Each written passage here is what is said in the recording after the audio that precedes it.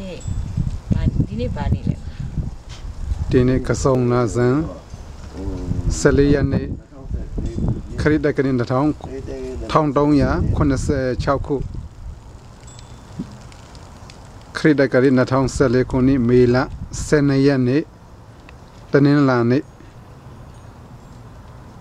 မနေ့မနေ့ကင်10နိုင်ခွဲအချိန်မှာ ဒါတိကမြေဒီရက်တမှာစင်လတ်စပီကာမြို့ဆရာဓမ္မရိတ်တာကြောင်ရှိဒါကဒုက္ခဖရာလာဘဒုက္ခတတိကပိုင်းစီရီတော်ဖရာကြီးအားအာတကမယဟမဖရာမအကြောင်းမကြီးအယံမဖရာမတကျောင်းမတရားမဖြစ်တယ်တက္ကမကြီးတော်အောင်ကြိုင်က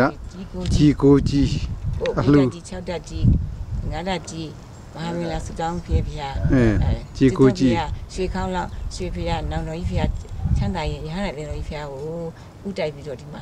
ဟိုကြီးကိုကြီးဖရာအတွက်တတိကူမျိုး